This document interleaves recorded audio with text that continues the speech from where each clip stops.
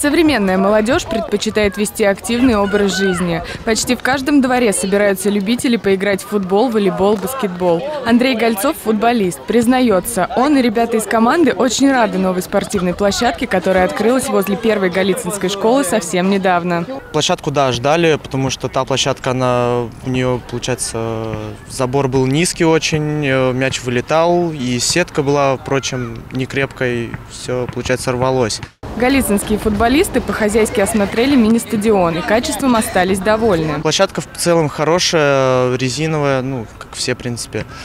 Забор высокий, это хорошо, мяч редко вылетает. Э, железо это тоже хорошо, то что она полностью железная, не рвется сетка. Площадку закрывает, это тоже хорошо, чтобы ее не портили изнутри. Работы по обустройству комплекса, состоящего из детской и спортивной площадок, проводились в рамках губернаторской программы формирования комфортной городской среды за счет муниципального бюджета. На торжество по случаю его открытия смогли прийти все желающие. Праздник начался с выступлений местных танцевальных коллективов, а как только была разрезана символическая красная лента, взрослые и дети поспешили покачаться на новых качелях и скатиться с горки. Интересная у нас получилась детская площадка. Детская площадка установлена э, экспериментальная в Московской области. Первая установлена, называется она «Маяк».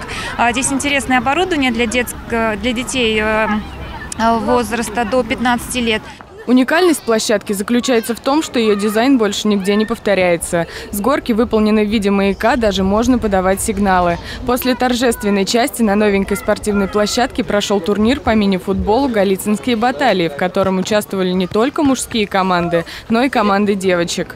Елена Морозова, Денис Харламов, телекомпания «Одинцова».